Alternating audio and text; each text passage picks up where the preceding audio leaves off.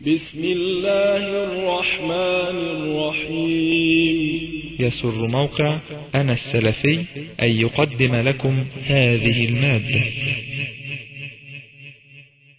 جدا الصحابة في السمع والطاعة. لما النبي كان يؤمر بأمر سمعا وطاعة أيا كانت الحالة أيا كان الوضع أيا كان الوقت أيا كان الزمان. صعد النبي صلى الله عليه وسلم يوما على المنبر يريد أن يحدث المسلمين في أمر. وعبد الله بن مسعود قادم إلى المسجد ولم يدخل لم يدخل من الباب فسمع النبي صلى الله عليه وسلم يقول للمسلمين اجلسوا. فجلس مكانه. عند الباب. أول ما النبي قال اجلسوا حاضر. طب ثانية واحدة أخش الجامع. لا ما فيش ثانية. ما فيش دقيقة واحدة أخش. النبي يقول اجلسوا اجلسوا. رآه النبي صلى الله عليه وسلم قال يا عبد الله ادخل. زادك الله طواعية لله ولرسول الله. صلى الله عليه وسلم. المقصود السمع والطاعة. في بل هناك ما هو أشد من هذا. رافع بن خديج رضي الله عنه وأرضاه. قال ناداني رسول الله صلى الله عليه وسلم وأنا على بطن امرأتي. سمع النبي بينادي يا رافع وهو على بطن امرأته قال فقمت ولم أنزل. وأعتذر إليكم في هذه الموضوعات وإنما المقصود الكلام عن السمع والطاعة قال قمت ولم أنزل وخرجت فذكرت له. النبي صلى أنا اتأخرت عليك كنت بغتسل. أنا سمعتك قمت فورا. قبل الإنزال فورا. واغتسلت وخرجت. فقال النبي صلى الله عليه وسلم لا عليك إنما الماء من الماء. ده كان في البداية. يقول رافع ثم أمرنا بعد ذلك أن نغتسل. يا النبي قال له لا عليك لو كنت طلعت على طول إنما الماء من الماء الماء تغتسل به من إنزال الماء. أنت لم تنزل لا عليك ألا تغتسل. ده كان في البداية. ثم أمرهم النبي صلى الله عليه وسلم بعد ذلك إذا جاوز الختان الختان فقد وجب الغسل بغض النظر عن الإنزال أم لا. المقصود إنه أول ما سمع النبي نادي عليه وهو على بطن امرأته فورا يقوم. فورا السمع والطاعة في أي وقت وفي أي حالة من الحالات. بل حالة حنظلة أنتم تعرفونها. كان حديث عهد بعرس. لسه عريس جديد. عريس جديد. وسمع داعي الحرب. يا خيل الله اركبي. عرف إن النبي باعت منادي بينادي على الصحابة إن هم يخرجوا للقتال. في غزوة أحد فقام من على امرأته من بين أحضانها وخرج إلى القتال للساحة فورا حتى قبل أن يغتسل.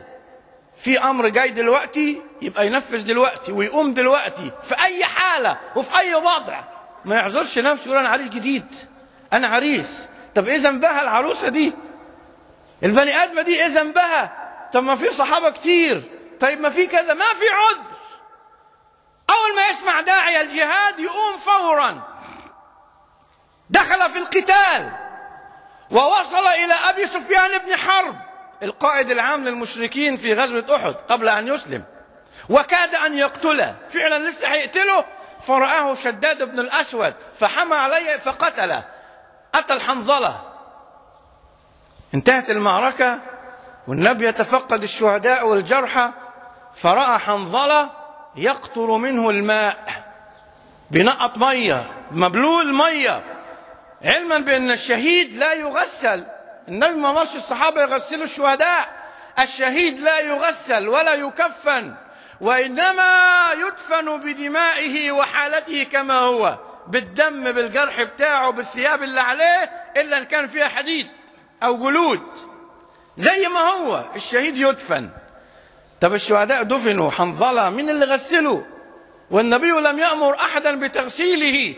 ثم رأى ما لم يره الصحابة. قال إن الملائكة لتغسله الآن. اسألوا أهله ما شأنه. ليه الملائكة بتغسله؟ في إيه؟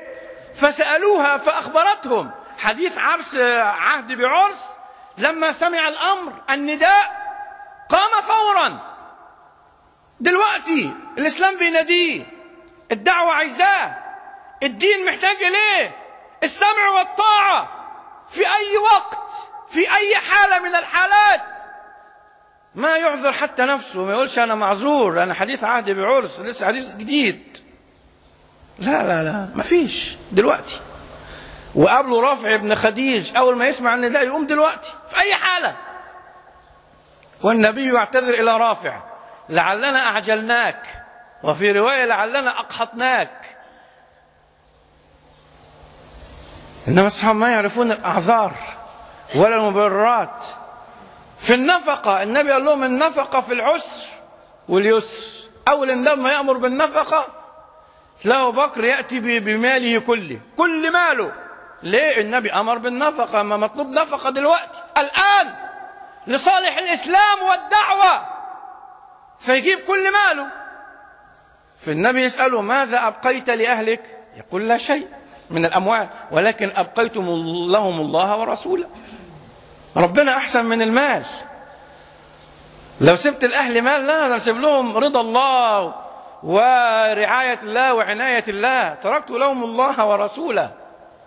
إنما المال كله جبته. خلاص ما عادش مالي ولا أهلي ولا بيتي ولا عيالي. الدعوة محتاجاه الدين محتاجه الآن.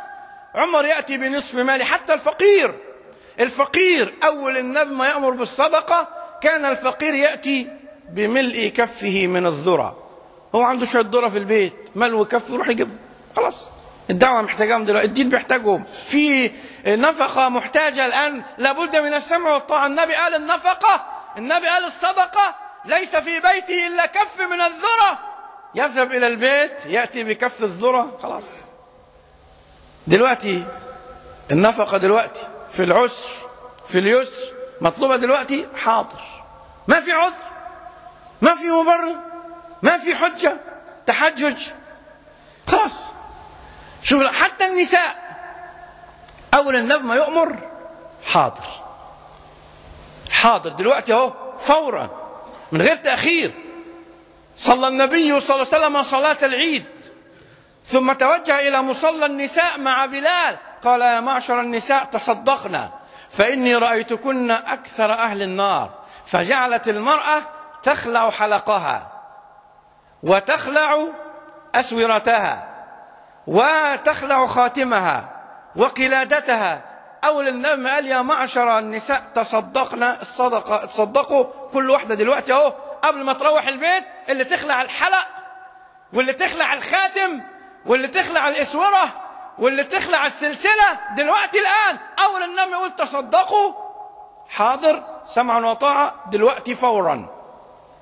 الله. دي النوعية اللي تأسست بها الدولة في المدينة. دي النوعية اللي تأسست بها اللي تأسس بها الكيان القوي المتماسك في المدينة. دي النوعيات. دي الأوامر اللي النبي طلبها. ودي التطبيقات بتاعت الصحابة في الأمر بالمعروف والنهي عن المنكر. كذلك القيام في الله لا تأخذهم لومة لام كذلك ومنعوه عليه الصلاة والسلام مما منعوا منه نساءهم وأبنائهم. المقصود المقصود إن دي أسس الدولة. دولة يعني سمع وطاعة في المنشط والمكره. كيان قوي يبقى فيه سمع وطاعة. من غير سمع وطاعة في المنشط والمكره ما فيش دولة ما فيش كيان. دولة معناها نفقة الكل يساهم في النفقات. المو الموسر والمعسر الكل الغني والفقير الرجل والمرأة كله. لما في احتجاج للنفقة كله ينفق. المعسر لازم ينفق مما عنده. دي دولة ده كيان دي مرحلة جديدة. دولة معناها أمر بمعروف ونهي عن المنكر لازم كله يتكلم كله يشارك كله يتحمل المسؤولية كله يغير المنكر. بآداب تغيير المنكر. كله يأمر بالمعروف يدعو إلى الخيرات. لازم الكل هي الدولة كده المرحلة الجديدة كده. وإحنا في أعتاب مرحلة جديدة. احتاجنا إلى أن نرجع إلى رسول الله صلى الله عليه وسلم. كيف؟ كيف أسس؟ كيف أسس للمرحلة الجديدة القادمة في المدينة؟ الدولة في المدينة الكيان في المدينة والصحابة كيف فهموا الأمر؟ هيوصل لحد فين؟ هيوصل لحد فين؟ ومهما يوصل عندهم الاستعداد تعاملوا مع الله وأحب وأحبوا دين الله جل وعلا كانوا على مستوى المسؤولية. كانوا رجالا كانوا رجالا في نصرة الدين والإيمان. والقرآن والحق والرسول عليه الصلاة والسلام. أسأل الله أن يوفقنا لكل ما يحبه ويرضاه وأن يعيننا على ذكره وشكره وحسن عبادته. أسأل الله أن يستعملنا في دينه وأن يجعلنا من جنده الغالبين ومن حزبه المفلحين. أقول قولي هذا وأستغفر الله العظيم لي ولكم.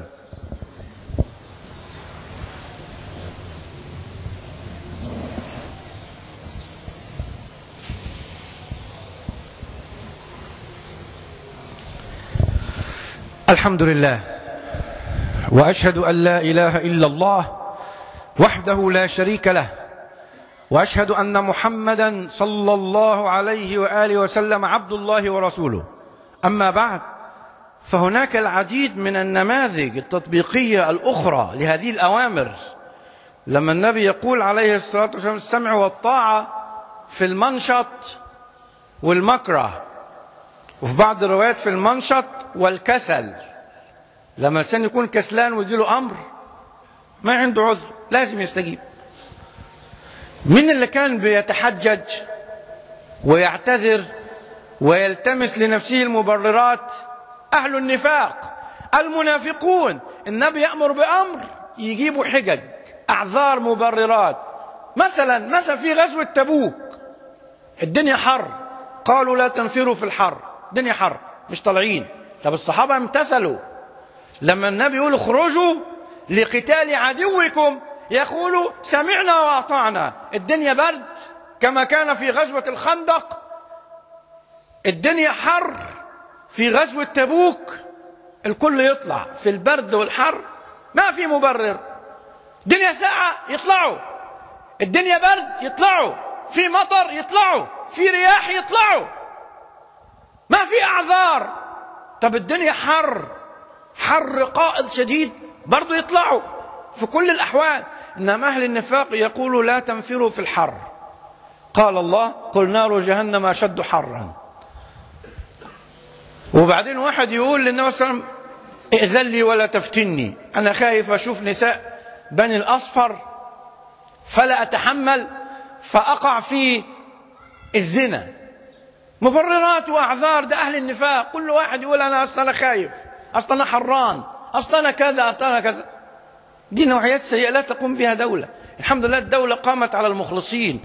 المخلص المخلص حاضر. لبيك سمعا وطاعة. الآن المخلص ما عنده ولا حتى يعذر نفسه. الدنيا ساعه يطلع الدنيا حر يطلع.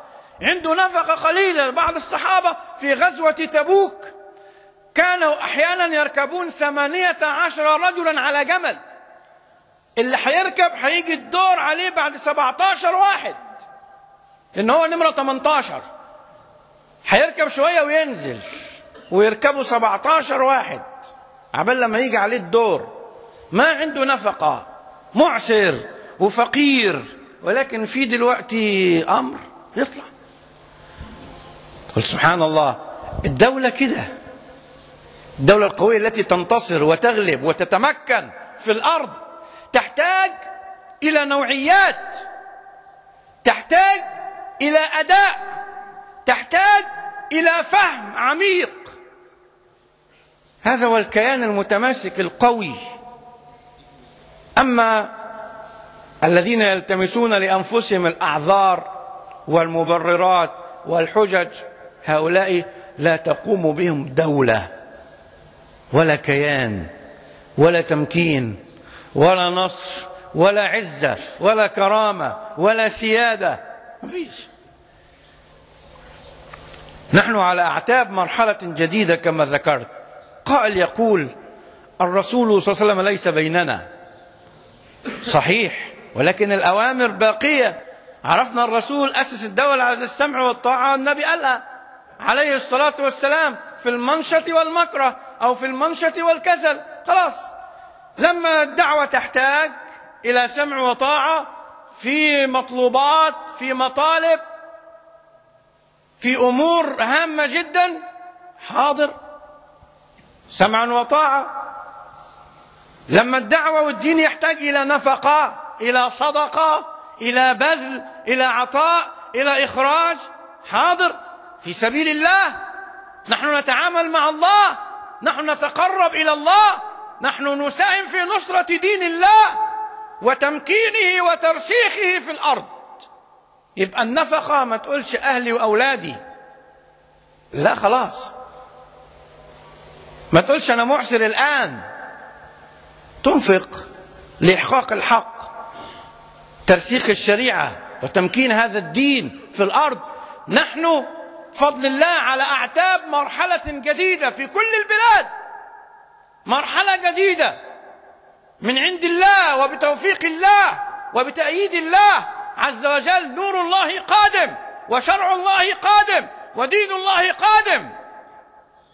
مرحلة جديدة ولكنها تحتاج إلى أداء جديد إلى فهم جديد إلى نوعيات جديدة.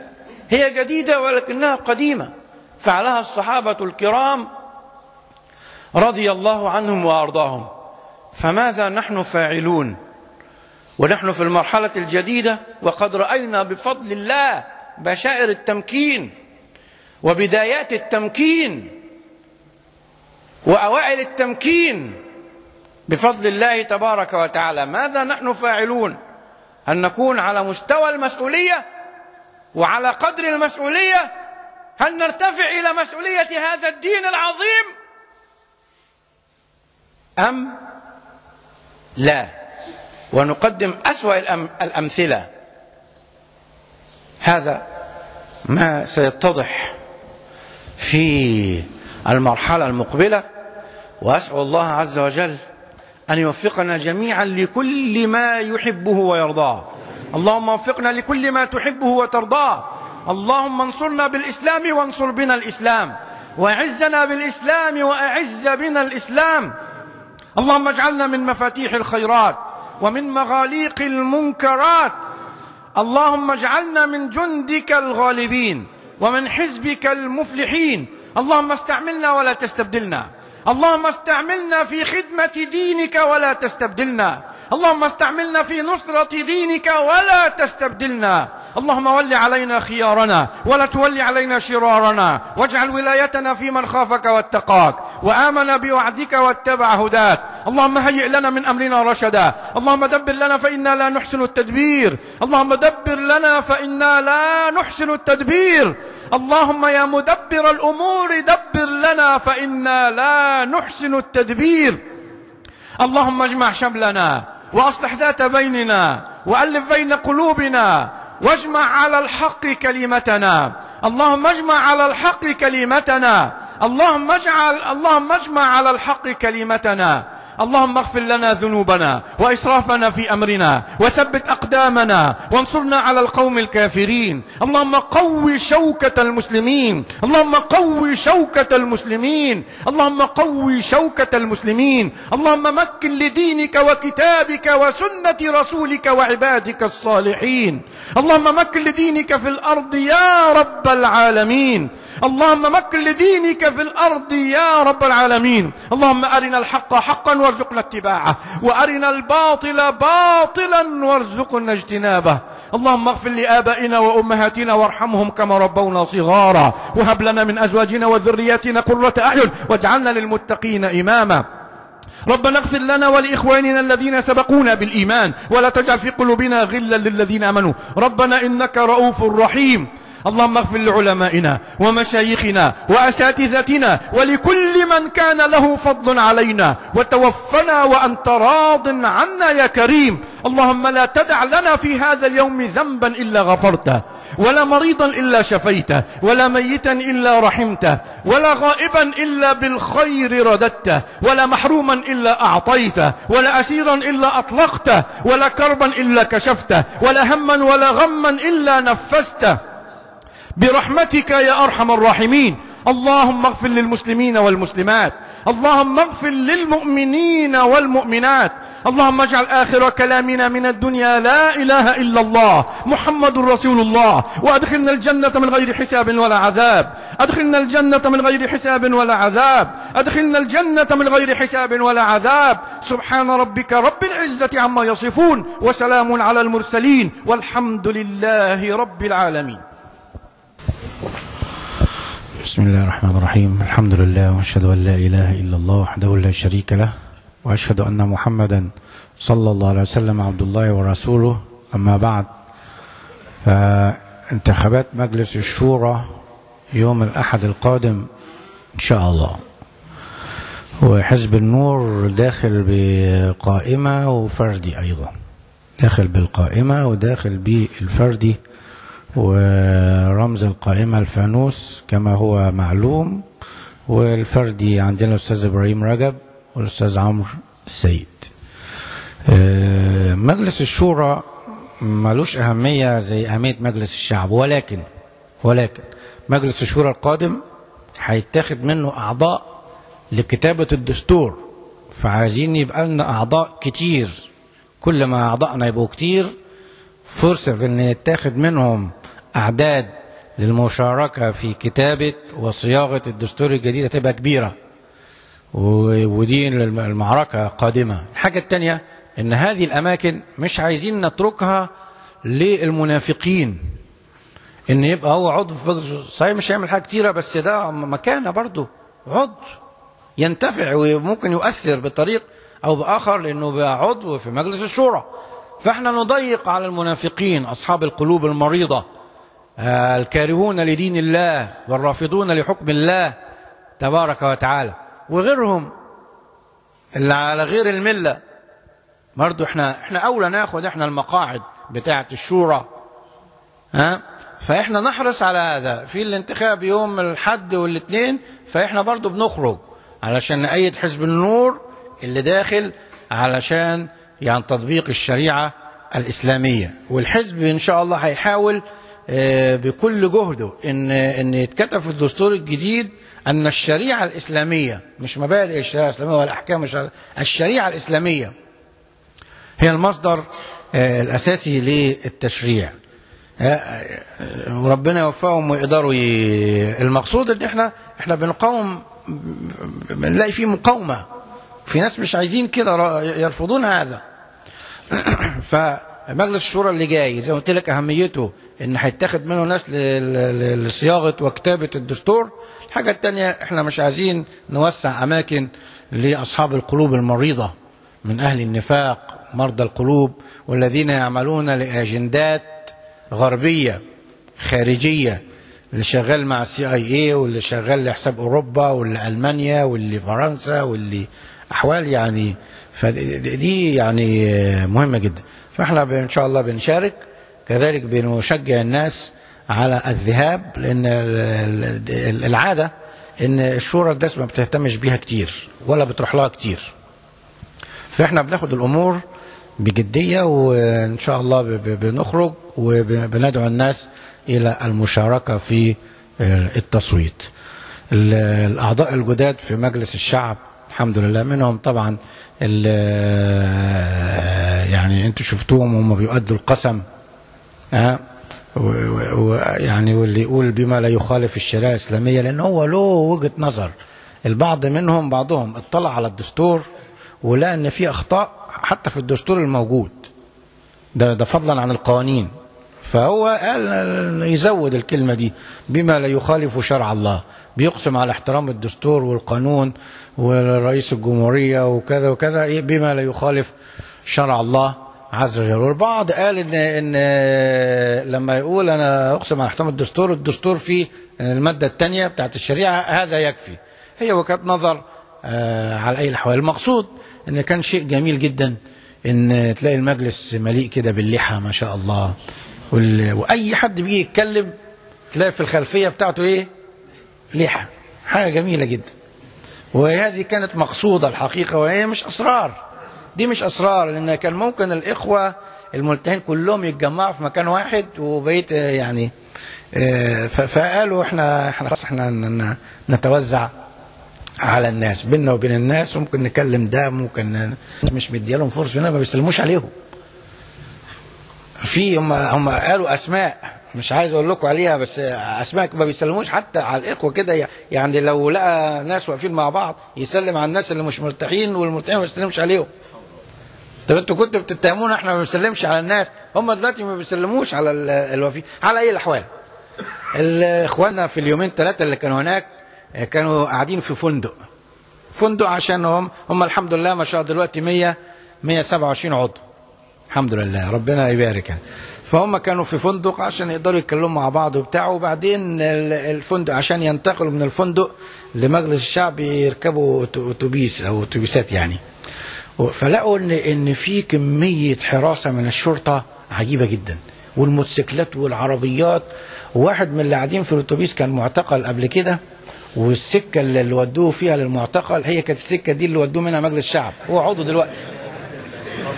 ها مع الفارق. بيقول أنا كنت في العربية قدام من الموتوسيكلات؟ موديان المعتقل. هي نفس الموتوسيكلات والعربيات بس كانوا مودينه حتة تانية. والنهارده الموتوسيكلات وبيقول الناس بقوا يبصوا علينا وإحنا ويدعوا لنا ربنا معاكم. ها وقال لما كنت في المعتقل برضه ناس كانوا يبصوا لنا من فوق ويقول ربنا معاكم بس إيه ربنا معاكم يا ربنا يصبركم. في المرة الاولانيه ربنا معاكم. وقالوها الناس تانية ربنا معاكم المرة دي. تقول سبحان الله شوف الأيام دول. آه يعز من يشاء ويذل من يشاء. سبحانه وتعالى. المقصود ال- آه، في بشاير خير. في بشاير خير. محصول الرز محصول الرز زاد السنة دي آه، بنسبة 32% الله أكبر. في شهر 11 اللي فات ده جردوا الكميات لقوا إن الرز زاد السنة دي 32% الذرة زادت 33% القمح 36% السنة دي بس. كويس كده؟ أغرب حاجة بقى سمعتها امبارح. ناس فلاحين اتصلوا بواحد قالوا له ما عندكش حد يشتري مننا قطن قال لهم ما تودوك جمعية. والمصانع قالوا المصانع واخدة قطن كفاية ومش لاقيين نوديه فين. الله أكبر. وقلت لكم أنا في المؤتمر الأسبوع اللي فات اتنين من دمياط ما يعرفوش بعض. اتنين صيادين يقول لك البحر السنة فيه كمية سمك السنة دي عجيبة جدا. وإن شاء الله يوصل لنا هنا برضو الدخيلة والماكس هو جاي حتى يا جماعة المطر أنتوا حاسين المطر السنة دي السنة دي الشتاء كتير. مش كده ولا إيه؟ البعض منا يقول أنا سقعان ويا- أنا ما بحبش المطر. يا راجل ده بركة. سقعة ومطر وطينة وبتاع بس ده ده بركة ده خير. لما كانوا موجودين الجماعة يعني كانوا سبب لل ده كانوا شؤم علينا. ده الدنيا كانت ناشفة. ما فيش مطر. كنا بنصلي ده الحمد لله شو لما زاحوا شوف بقى البركات اللي جاية. من فوق ومن تحت. من فوق المطر نازل السماء والبحر والأرض. ولسه. إحنا لسه ده إحنا إحنا في البشاير زي ما قلت. إحنا في على الأبواب. على العتبة. بتاعة التمكين. وتشول السماء مطر كتير. البحر سمك كتير. الأرض وبعدين اللي قعدوا يدوروا إيه اللي هو القمح زاد ليه السنة دي؟ هو الفاسدين يا جماعة. المية الرز مثلا يحتاج مية كتير. فكانوا مشغلين المية لحسابهم الخاص. اللي عنده مزرعة ثروة سمكية فكانوا يحولوا له المية على المزرعة بتاعته ويقفلها على الفلاحين. راحوا أهل الفساد راحت المية في كل حتة كده بالعدل. المحصول زاد. حارب أنت بس الفساد والمفسدين.